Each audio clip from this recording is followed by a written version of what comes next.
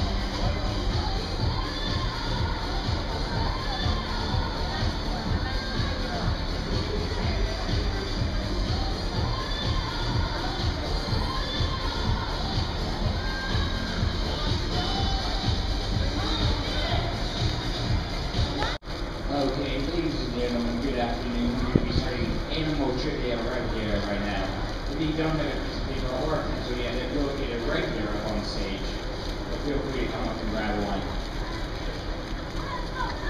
This is animal trivia. There's uh, the that's a good to